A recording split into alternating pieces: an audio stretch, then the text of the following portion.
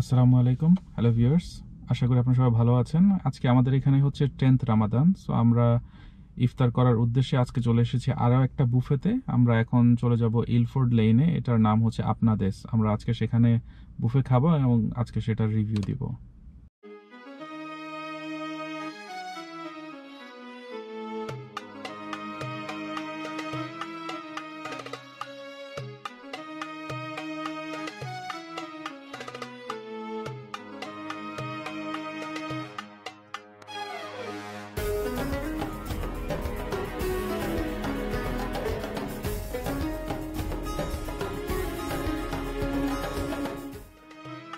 What time, from what time to what time are you normally open after iftar? So I understand that during iftar you're open from iftar to late.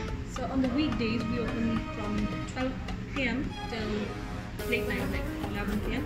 And on the weekends we open at 10 a.m. and till 11 p.m. Same closing time. Ah, okay. Yeah. So do you also serve buffet after Ramadan or is it like table no, service? just a table service. Just a table yes. service. Okay. But during the Ramadan time, is it too busy or?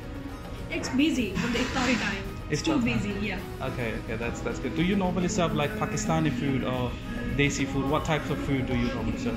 We can we serve Pakistani food. Normal Pakistani. normal Pakistani. Okay.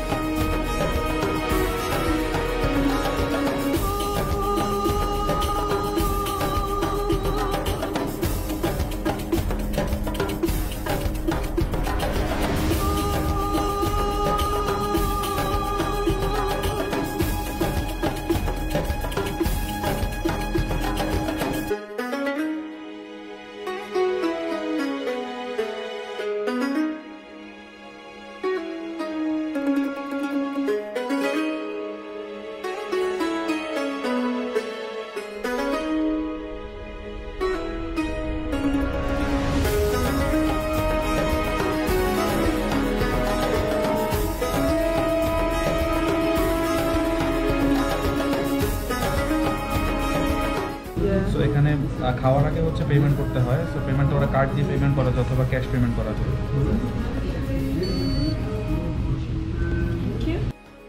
So আগে বুফেতে আসার পরে, এখন আগে আমরা এটার একটু menu analysis করি। এবং আমি দেখতে পাচ্ছি হচ্ছে এদের, এই বুফেটা হচ্ছে শুধুমাত্র রামাদানের জন্য। আমি অলরেডি কথা বলেছি একটু এদের সাথে। এটা শুধুমাত্র রামাদানের জন্য, কিন্তু রামাদানের পর এটা হচ্ছে টেবল সার্ভিস আর এদের যে মেনুটা মেনুর মধ্যে সবার প্রথমে আছে হচ্ছে ইফতারির যে আইটেমগুলো সেটা আগে বলি। ইফতারের আইটেমগুলোর মধ্যে প্রথমে আছে হচ্ছে খেজুর। খাজুর দেওয়া হয় তারপর দিবে হচ্ছে পাকোড়া। আমি শিওর না কিসের পাকোড়া মেবি ভেজিটেবল পাকোড়া হওয়ার চান্স অনেক বেশি। তারপরে দেওয়া হচ্ছে সমোসা চানা চাট তারপরে দেওয়া হয় হচ্ছে দাহি দাহি বড়া আছে দই বড়া আহ, তারপর রু আফজা উইথ লেমনের একটা ওদের স্পেশাল একটা ড্রিঙ্কস আছে। এটা কমপ্লিমেন্টারি দেওয়া হয় বুফের জন্য। এই রামাদান উপলক্ষে। সেটাও আমি দেখে এসেছি, দেখতে অনেক ভালো লাগে। তারপরে এদের মেইন কোর্স যেটা আছে মেইন কোর্সগুলো আমি বলতেছি। একটা হচ্ছে, প্রথম যেটা সেটা হচ্ছে স্পাইসি ল্যাম্প কারাই আমার ল্যাম্প কারাই অনেক পছন্দ। তারপর আছে চিকেন বাটার কারাই এটা অনেক ফেভারিট একটা জিনিস, লুনারও অনেক পছন্দ। তারপরে হচ্ছে আপনার চিকেন বটি বটি বটি টিক্কা যেটা আর কি, বটি কাবাব যেটাকে বলা হয়, সেটা আছে এখানে। শিক কাবাব আছে, ফিশ পাকোড়া আছে সিজন ডানস্ট্রিক আছে তারপর চাপলি কাবাব আছে, এটা খুব স্পেশাল চাপলি কাবাবটা আপনারা আমার হয়তো আগের ব্লগ যদি দেখে থাকেন, তাহলে আমি এক্সপ্লেন করেছি। চাপলি কাবাব মেনলি হচ্ছে আফগান একটা ফুড আফগান, পেশাওয়ার, পাকিস্তানের সাইডের একটা ফুড আমাদের অনেক ফেভারিট একটা জিনিস। তারপরে আছে হচ্ছে পোলাও এবং ডাল ভেজিটেবলও এটার সাথে আছে অল্টারনেটিভ সো আর আমাদের ডেজার্ট হিসেবে তারা রেখেছে হচ্ছে ক্ষীর, পাকিস্তানি ক্ষীর যেটা। এবং সাথে আছে গোলাপ জামুন। গোলাপ জামুনের আমি একটু আগে আপনাদেরকে ফুটেজ দেখিয়েছি। ওদের ছোট কাপের মধ্যে খুব সুন্দর করে গোলাপ জামুন দেওয়া হয়েছে। খুব সুন্দর।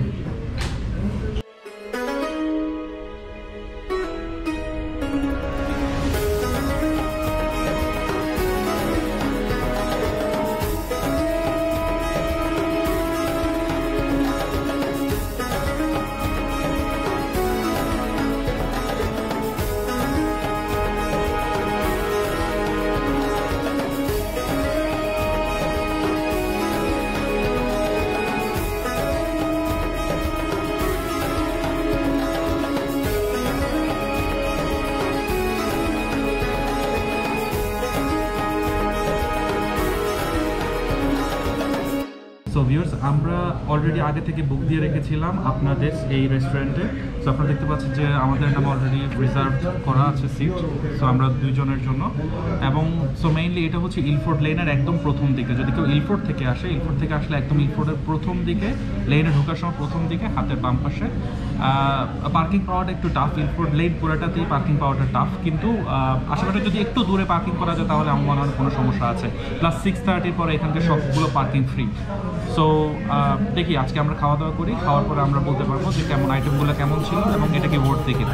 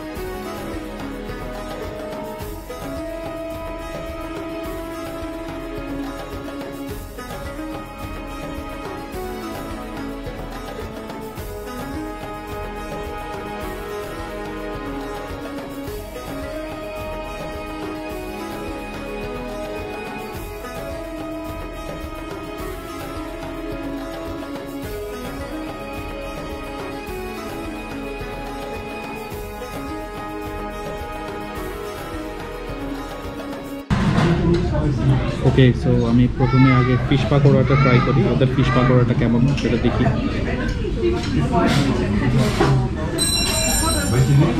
অনেকটাই সফট এটা হচ্ছে ওদের ফিশ পাকোড়া। এটার অনেক অনেক অনেক অনেক ফ্লেভার অনেক মশলা দেওয়া এটার বাইরে, দেখা যাচ্ছে। আমি একটু ট্রাই করি কেমন, অনেক soft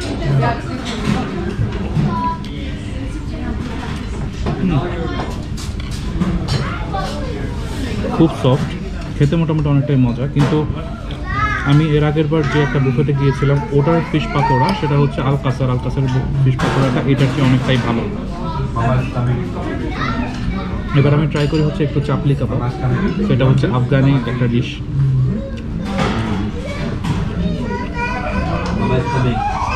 Look, Mama is there. Taking Hmm. food. Okay, come. এটা অনেক সফট. এবং. অনেক ভালো মশলা ইউজ করেছে। মনে হচ্ছে যে অনেক দিন থেকে ম্যারিনেশন করা এটা। এটা একদম প্রপার চাপলি কাবাব হয়েছে। তারপর সাথে আমি আরেকটা ইফতার আইটেম নিয়েছি, সেটা হচ্ছে ভেজিটেবল পাকোড়া। এটা একটা খেয়ে দেখি। এটার মধ্যে একটু বেসনটা মনে হয়, বেশি ইউজ করা হয়েছে।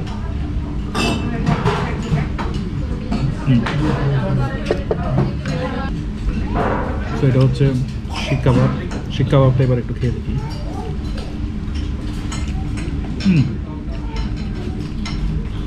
এটা অনেক ভালো, অনেক জুসি। এটা চিকেনের। অনেক সুস্বাদু, খেতে অনেক মজা.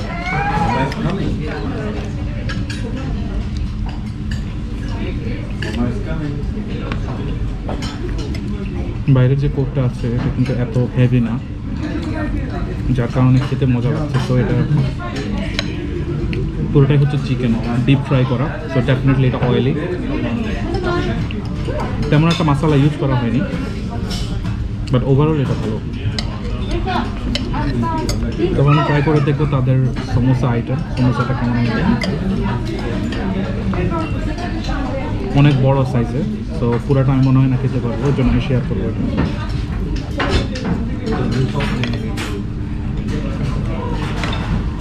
এটা হচ্ছে ভেজ সমোসা।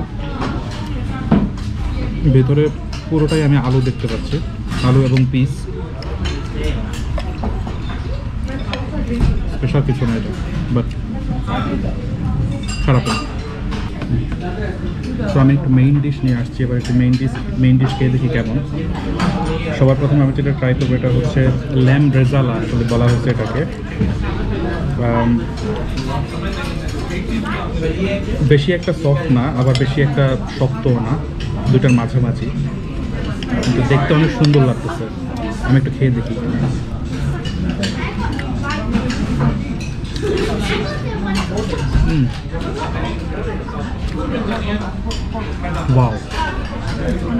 এক কথায় অসাধারণ অসাধারণ একটা ল্যাম্প তারপরে যেটার মধ্যে বোঝাই যাচ্ছে না যে এটা হচ্ছে ল্যাম্প অনেক ফ্লেভারফুল অনেক ফ্লেভারফুল মশালা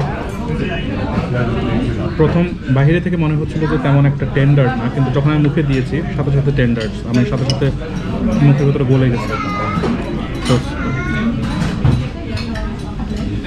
এবার আমি একটু ট্রাই করি হচ্ছে এদের চিকেনটা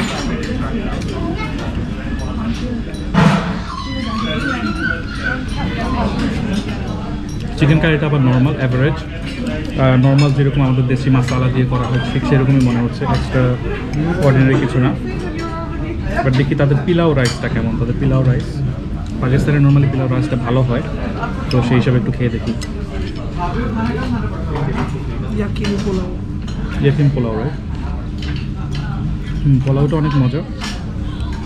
সলটা সামান্য একটু কম কিন্তু তারপরেও এটা বোঝা যাচ্ছে না। এর মধ্যে অনেক জিরা ইউজ করা হয়েছে। তো ওভারঅল খেতে অনেক ভালো লাগছে তারপর আমি সাথে এনেছি হচ্ছে চিকেন টিক্কা। এটা আমার কাছে আম, আলকাসারেরটা অনেক ভালো লেগেছে। এটা ঠিক জানি না কেমন হবে খেতে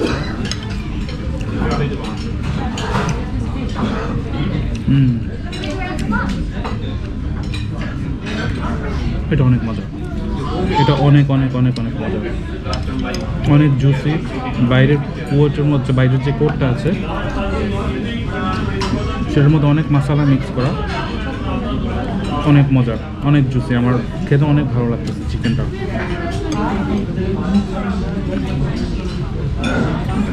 এবার আমি খেয়ে দেখব হচ্ছে তাদের যে শাক মানে পাকিস্তানি শাকটা নর্মালি ভালো হয়। শাকটা নর্মালি আলু দিয়ে করলে বেশি ভালো হয়, কিন্তু এটা তারা শুধুমাত্র শাক করেছে স্পিনাচ তো দেখি, এটা একটু পিলাও দিয়ে আমি খেয়ে দেখি কেমন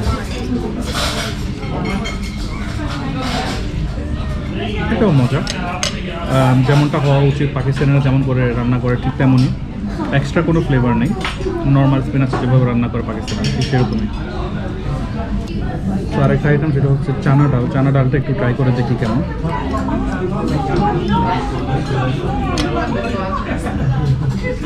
তো ঠিক আছে, এটাও একদম ওয়াও যে বলব সেরকম না, আর একটু ভালো হইতে পারতো, কিন্তু খাওয়া যায়। ভালো এটা নাম দিয়ে খেতে ভালো লাগতো ওকে সো এখন হচ্ছে আমাদের ডেজার্টের পালা। আমি ডেজার্টটা একটু খেয়ে দেখি। আমি গোলাপ জামুনটা আনছি। গোলাপ জামুনটা খেয়ে দেখি।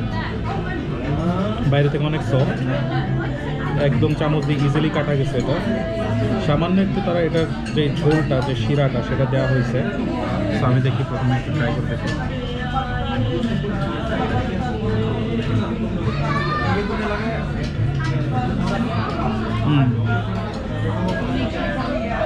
সবগুলো ঝাল খাওয়ার পরে যে একটা ডেজার্ট যে গোলাপ জামুনটা দেখানো যাচ্ছে, চারপাশে হচ্ছে ঝোল, শিরা, আর এটা অনেক সফট মুখে দেওয়ার সাথে সাথে মনে হচ্ছে মানে একেবারে মুখের ভিতরেই যেন গলে যাচ্ছে। মনে হচ্ছে আইসক্রিমের মতো লাগতেছে, কিন্তু এটা আইসক্রিম না, এটা হচ্ছে গোলাপ জামুন।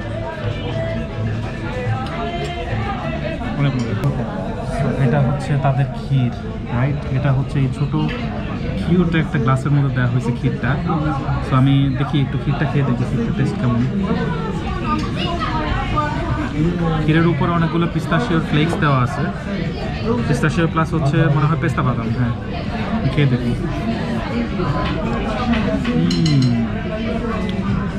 এদের ক্ষীরটা অনেক মজা। যার কারণে ওইটা প্রায় এটাই লাস্ট ছিল। আর কোনো ক্ষীর ওখানে নাই। তো এটাই ছিল তাদের লাস্ট আর কোনো ক্ষীর ওখানে নাই। এখন বুঝতেছি যে কেন ক্ষীরটা নাই, কারণ ক্ষীরটা এত মজা, এত সুস্বাদু হয়েছে। মানে মুখে দেওয়ার সাথে সাথে এই ফিলটা পাওয়া যাচ্ছে যে কেমন টেস্টি